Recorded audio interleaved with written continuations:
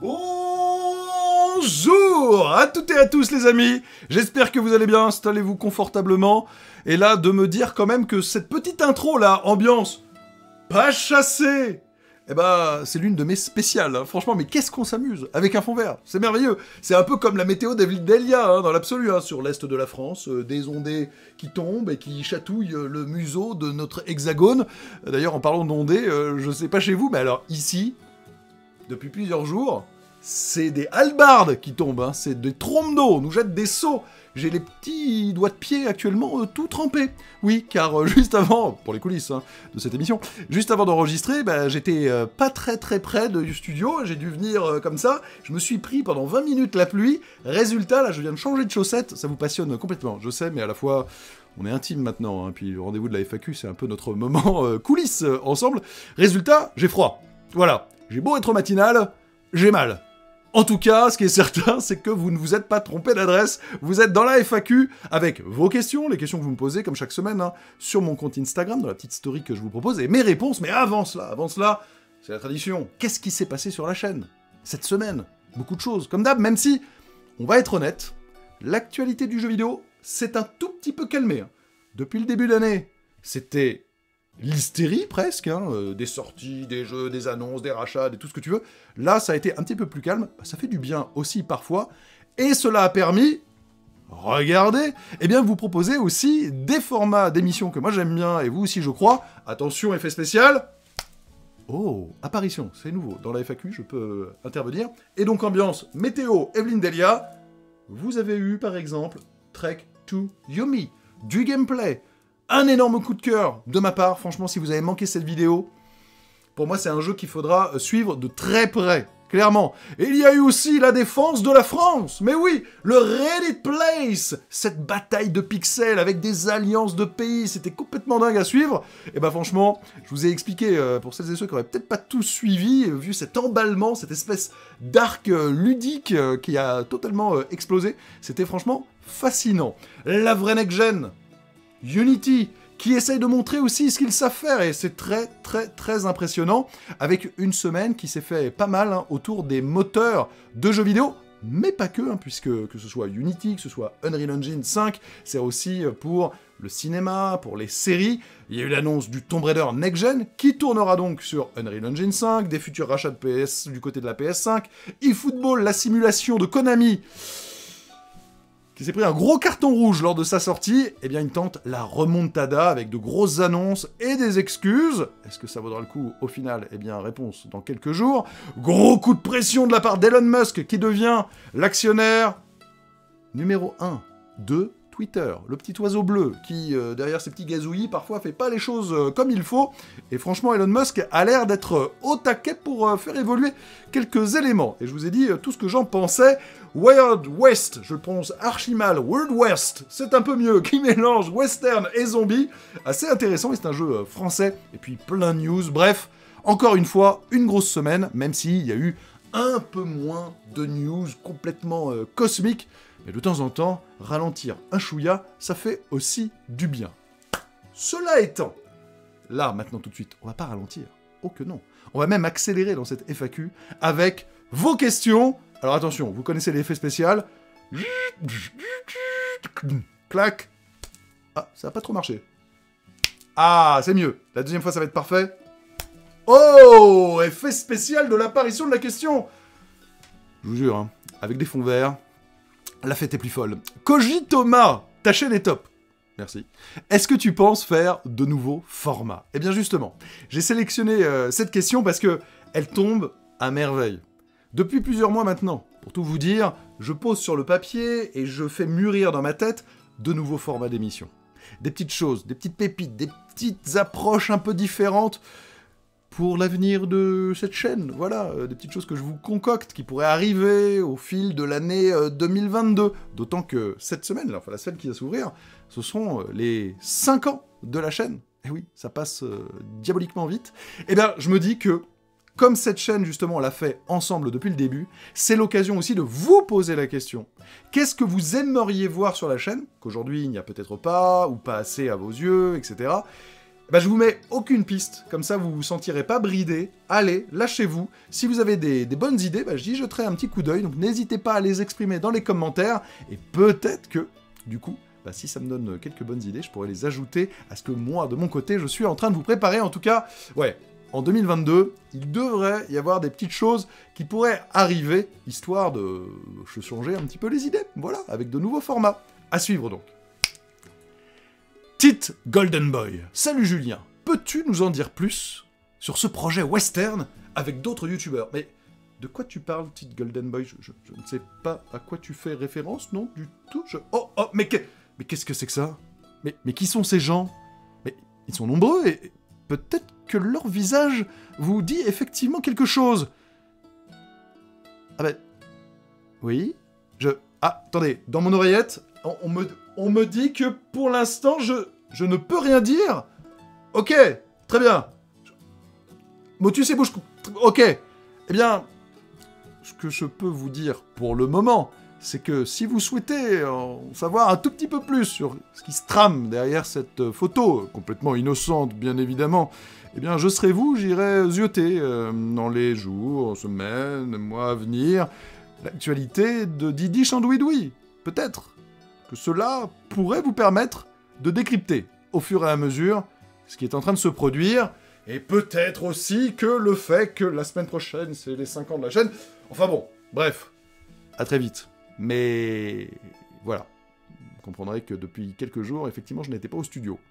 J'étais loin, très loin, et ce sera bien, très bien. Allez, à suivre. Suspense. Silverstorm 33. Pourquoi les studios font-ils des remakes au lieu de faire des suites? J'adore ton travail.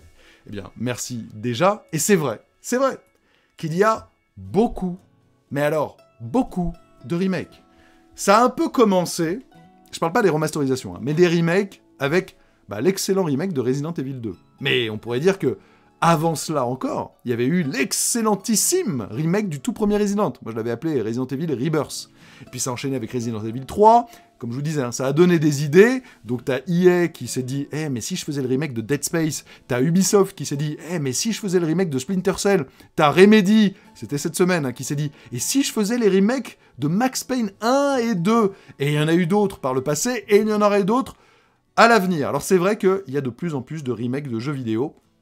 Alors déjà, premier point, à mes yeux, tant que les développeurs continuent à nous faire des jeux nouveaux, à créer de nouvelles licences en quantité et surtout en qualité, bon, pourquoi pas revisiter le passé, ça ne me dérange pas. Mais ta question, elle est de savoir, mais pourquoi est-ce qu'ils font pas plutôt des suites? Bah, Tout simplement parce que ça prend beaucoup moins de temps. Alors, après, euh, soyons précis, hein, quand on dit beaucoup moins de temps, ça dépend aussi de l'effort qui est fait sur le remake. Il y a remake et remake, il ne faut pas confondre avec remasterisation, où c'est juste un lissage de texture. Là, pour Resident Evil, c'est ils ont tout refait. Ils ont même ajouté des pans scénaristiques, ils en ont retranché quelques-uns, ils ont refait tous les modèles, etc. Mais à la fois, ça permet aussi de ne pas avoir tout ce qui est, eh bien, il faut repenser, il faut créer de zéro une histoire, euh, des personnages, des situations. Là, tu as quand même un canevas à suivre qui te permet de gagner aussi beaucoup de temps. Et qui dit gagner du temps, dit gagner de l'argent, d'autant que ce sont des remakes de jeux extrêmement populaires, donc il y a une base de fans qui est déjà très installée, et donc bah en fait tout le monde s'y retrouve. Hein. Et si je dis ça, euh, c'est parce que les ventes sont très bonnes. Hein. Donc ça veut dire qu'il y a un public pour ça, vous en faites peut-être partie, j'en peux en faire partie aussi sur les jeux qui sont les, les, plus populaires et les plus chers à notre cœur. Attention, la lumière va se rallumer. Voilà, sur ce Resident Evil 2, le remake, qui clairement... Hein, a vraiment été très bien accueilli. Donc, c'est une question de temps, c'est une question de moyens, c'est une question aussi parfois de retester euh, l'appétit des joueurs sur une série qui existe depuis peut-être quelques années, qui s'était fait un petit peu attendre. Par exemple, je pense à Ubisoft, je pense à Dead Space du côté d'Electronic Arts. Ils commencent par des remakes. Si le remake de Dead Space cartonne, si le remake de Splinter Cell cartonne, T'inquiète que dans la foulée, il y aura des suites. Mais parfois, il prenait un petit peu aussi la température et ça permet parfois à des équipes aussi de se refaire la main sur des vieilles licences, de se remettre bien dans le bain avant de repartir de plus belle vers de l'inédit. En tout cas, à suivre. Mais vous me direz un petit peu ce que vous en pensez. Est-ce que vous trouvez que là, en ce moment, il y a trop de remakes ou est-ce que c'est un bon équilibre et que quelque part cette nostalgie fait du bien? Et on parle de nostalgie, mais ça permet aussi à de nouveaux joueurs de découvrir des gloires d'antan, peut-être euh, auprès desquels ils étaient passés, ou peut-être qu'ils n'étaient pas nés, ou ils étaient trop jeunes pour y avoir joué. Bref, ça peut faire plaisir à tout le monde, et par exemple, s'il y a des remakes de Metal Gear, ce qui ne m'étonnerait pas à l'avenir, peut-être que certains ne les avaient jamais faits, et donc euh, c'est vrai que le jeu vidéo vieillissant quand même un peu, les jeux d'il y a 20 ans ont quand même pris un petit coup de vieux, les retrouver magnifiés, ou en tout cas dans les canons techniques de l'époque, ça peut faire du bien. Nouvelle question. Stéphane E. On parle beaucoup de DA. Donc pour celles et ceux, parce que parfois je le vois, qui ne savent pas ce que c'est que la DA, c'est la direction artistique. Interviewer un concept artiste dans le jeu vidéo, ça serait intéressant. Bah Stéphane, tu as complètement raison. Mais je dirais que, en attendant de pouvoir faire cela, tu peux déjà aller voir mon interview de Sébastien Mitton, qui est directeur artistique. Donc la DA, c'est son métier. Et en l'occurrence, il est directeur artistique, chez Arkane et a travaillé sur Deathloop, qui a remporté, lors des Game Awards, le prix de la meilleure direction artistique. Donc c'est quand même pas n'importe qui, alors il est pas seul évidemment, il a ses équipes euh, aussi, mais si tu veux avoir l'interview de quelqu'un qui est vraiment au cœur du processus artistique dans le jeu vidéo, eh ben là, euh, c'est un bon exemple. D'ailleurs, bah, je vais vous mettre ici, là, tac tac tac, le petit lien pour aller voir différentes interviews que je vous ai proposées sur la chaîne. Je vous le mettrai peut-être aussi en mention en dessous, etc. Mais vous pouvez aller dans la zone euh, playlist et vous avez plein d'interviews, vous avez les clubs JV. C'est quelque chose qui est cher à mon cœur, qui parfois fait peut-être moins de vues. Mais écoutez, euh, bah, c'est pas grave, hein. moi ça me fait plaisir d'aborder aussi eh bien, ces questions avec celles et ceux qui font vraiment les jeux. Parce que sans les créateurs et les créatrices de jeux vidéo, moi déjà je suis pas en train de vous parler, et on est en train de vous jouer beaucoup moins, forcément. Donc euh, c'est super important de les écouter, de leur donner du temps, et moi je suis ravi que sur la chaîne, eh bien, je puisse vous proposer comme ça de fréquentes interviews, si ça vous plaît. N'hésitez pas à les soutenir, à mettre le petit pouce, à les partager. Et en tout cas, n'hésitez pas à aller dans la playlist euh, Interview et Club JV, vous allez en trouver euh, pas mal, dont celle de Sébastien Mitton. Si tu aimes la direction artistique, il est le mieux placé pour t'en parler. Toine Toine 50 Coucou Julien. Est-ce que tu soutiens à fond Caro dans son challenge de jeu hardcore? Alors, euh, je soutiens euh, Caro tout court, hein, euh, pas que dans son challenge de jeu hardcore, mais c'est vrai que Carole a fini Elden Ring! J'ai fini Elden Ring! La team Caro Jus a fini Elden Ring! Captain a fini Elden Ring! Et donc depuis, Caro s'est lancé dans une sorte de, de, marathon des jeux un peu hardcore From Software. Bah oui, c'est ça, hein. Le truc, c'est que, comme Elden Ring nous a tendu la main ça donne de la confiance. Ça permet de se dire, attends, ce qui nous paraissait impossible, inenvisageable par le passé, on peut peut-être l'essayer. Et donc elle s'est lancée sur une série de streams sur Demon Souls. Et vous me direz aussi si vous voulez que, je m'y mette aussi, un peu, euh, que j'essaie de tester euh, mes limites pour voir si euh, j'y arrive mieux du coup depuis. Mais, mais je trouve que voilà l'exemple parfait de ce qu'a permis de faire Elden Ring. Elden Ring pour moi, c'est exactement comme quand on apprend à faire du vélo quand on est petit. Si tu apprends à faire du vélo sans les petits trous, sans personne qui t'aide un peu, tu te casses la figure non-stop. Et t'as juste plus du tout envie de faire du vélo dans toute ta vie. En revanche, si on t'aide un peu, et Elden Ring, même si c'est la formule des From, avec les sauvegardes plus rapprochées, avec la possibilité d'invoquer, avec ce côté aussi monde ouvert qui permet de moins se lasser, de picorer un peu les choses, eh ben nous a tendu la main. Résultat, on a beaucoup aimé, et du coup, bah maintenant on peut retirer peut-être une petite roue voire même peut-être les deux, et essayer de se jeter dans le grand bain de jeux euh, encore plus euh, piquants, ma foi. En tout cas, bah, Carole, euh, elle assure, donc bien sûr, je la soutiens, et vous pouvez aller voir sur sa chaîne, hein, Carole Quinten, pour retrouver bah, ses premiers lives sur Demon Soul. Elle est en train de finir Eternal aussi, et elle va continuer. Et vous me direz aussi, est-ce que vous voulez qu'on se lance après donc avoir fini Elden Ring dans des lives sur la chaîne, sur Demon Soul ou autre, histoire de relever d'autres défis corsés, ma foi. Bon, c'est pas dit que j'y arrive, hein. mais qui sait, hein, si vous êtes euh, assez nombreux à, le demander, peut-être que j'essaierai. Joseph Arama24, est-ce que tu seras présent à la prochaine Paris Games Week? Eh bien, Joseph, franchement, ma réponse de base, ça va être oui, mais. Je sais, c'est un peu frustrant. Oui, s'il y a une Paris Games Week, mais on ne sait pas s'il y aura une Paris Games Week. Voilà la vérité euh, absolue. On sait qu'il y aura un Tokyo Game Show, en physique. Même si je sais pas si on pourra y aller, hein, mais parce que pour l'instant les frontières sont toujours fermées, hein, mais bon, euh, avec le Japon.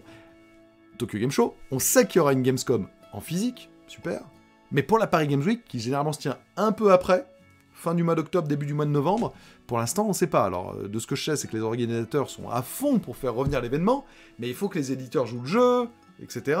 Tout ça. Donc, on verra. Et est-ce que ce sera une euh, Paris Games Week comme d'hab ou plus petite euh, On verra. Quelle sera la situation sanitaire à cette époque? J'espère qu'elle sera bonne. On est bien d'accord. Donc, bah, si à la Paris Games Week, oui, évidemment, j'en serai. Carole aussi, hein, on viendra vous voir, etc.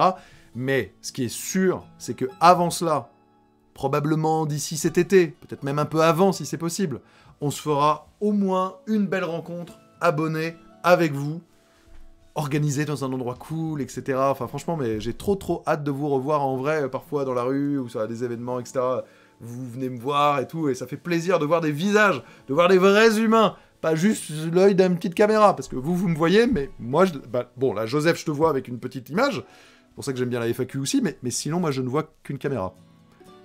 Voilà. Petite caméra. HD. T'es sympa, mais t'es pas très... Hop, je te feinte. Ah, non, bon, bon, bref. Vous avez compris l'idée. Mais en tout cas, j'espère qu'il y aura une Paris Game. Franchement, euh, je suis comme vous, euh, ça me manque, tout cela. Il était bien mieux, ce Ouais. Comme quoi, tout à l'heure, je devais le faire bien. J'ai pas réussi. C'est toujours pareil. Mais là, bah voilà, ça s'enchaîne mieux. Romain, 1813. Fais-tu une chasse à l'œuf pour Pâques? Bien sûr, évidemment, évidemment, et surtout que en tant que jeune papa, euh, voir son enfant euh, complètement émerveillé à chercher les œufs et tout ça. Euh, la première fois qu'on l'a fait, bah, c'était l'année dernière, parce qu'avant, bébé était bien trop petit. Mais l'année dernière, c'était très très cool, on avait fait ça en forêt et tout, on caché un peu les œufs et bidule. Et cette année, bah, on va le refaire, alors c'est pas tout de suite, hein. c'est la semaine prochaine, hein, si je dis pas de bêtises. Donc on a encore un petit peu de temps, mais on s'y prépare, même si, attention, hein, je parle aux jeunes parents et je parle à tout le monde d'ailleurs, euh, vous avez vu qu'il y a eu des problèmes sur des œufs Kinder. Si vous en aviez, vérifiez bien, parce qu'il peut y avoir des problèmes euh, sanitaires. Donc là, je fais mon, instant, ma petite parenthèse, euh, on est sérieux, mais il y a eu quand même des problèmes donc sur des œufs Kinder, sur du pain, super, sur des pizzas, ok, je crois que sur des fromages. On va me dire si avec ça. Mais c'est vrai que le monde en ce moment, c'est vraiment, ça tourne pas rond du tout. En tout cas, faites attention. Parenthèse refermée. Bah, pour toutes celles et ceux qui fêtent Pâques, euh, franchement, euh, prenez du plaisir, euh, kiffez bien, passez un, agréable moment en famille et tout ça. Et nous, en tout cas, bah, on, va, on va fêter ça comme il se doit. Marcus Brown, 23. Bonjour Julien, as-tu regardé la série Il était une fois les Imagineers sur Disney ⁇ Oh que oui Et je vous la conseille à fond je vais même être très clair, je crois que c'est l'une des premières, si ce n'est la première chose que j'ai regardée sur Disney Plus quand c'est sorti. Dès que c'est sorti, je crois que c'était quasiment le lancement que c'était dispo.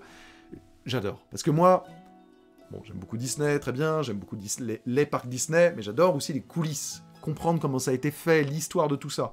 Cette série documentaire, je crois que c'est en 5 ou 6 épisodes, génialissime. Vraiment. Et on voit la difficulté que ça a été les choses n'étaient pas acquises. Aujourd'hui, Paris d'attraction, tout le monde comprend ce que c'est. À l'époque, Walt Disney a dû euh, vraiment œuvrer pour que euh, ça se fasse, parce que ça coûte beaucoup d'argent, il fallait trouver le lieu, euh, comment on crée les choses, convaincre les gens que c'est une bonne idée, enfin... Waouh, passionnant, passionnant. Et les Imagineers, ce sont ces ingénieurs, ces techniciens qui conçoivent les attractions et tout ça. Moi, je trouve ça euh, absolument génial. Et d'ailleurs, je me demande, et vous me le direz, un petit peu à l'image de ce que je vous posais comme question tout à l'heure sur les nouveaux formats, je vous questionne là aussi, ce sera ça, hein, les FAQ entre autres. Est-ce que vous voulez que je vous fasse Je vous en ai déjà fait quelques-unes par le passé, hein, mais euh, là j'en ai une petite sous le coude potentiellement, petite vidéo récap sur les nouveautés qui arrivent à Disneyland. Parce que moi j'y vais assez souvent, je paye avec mes sous, hein, mais nous avons acheté le pass annuel, qui euh, ils ont augmenté, j'espère qu'ils vont se calmer un peu là-dessus, mais à mon avis, ce sera loin d'être le cas, mais nous verrons bien. Euh, on y va assez souvent, je connais bien le parc et tout, et pareil, J'aime bien connaître un peu les coulisses, qu'est-ce qui arrive et tout. Et là, vous savez qu'ils sont en train de refaire vraiment plusieurs zones euh, dans les Walt Disney Studios. Eh bien, est-ce que vous voulez que je vous en parle? Je pense que ça pourrait en intéresser certains, d'avoir des petites updates de temps en temps, évidemment. Hein, pas vous faire ça toutes les semaines, mais de temps en temps, quand il y a quelque chose d'intéressant, bah vous me direz D'autant qu'on peut y retourner sans les masques.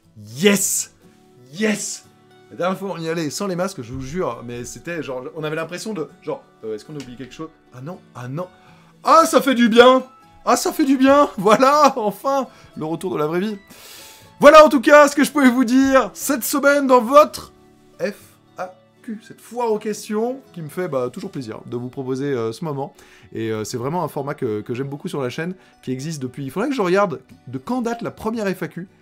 Ça n'a pas été au lancement de la chaîne, mais c'est venu, je crois, dans la première année ou peut-être la deuxième année.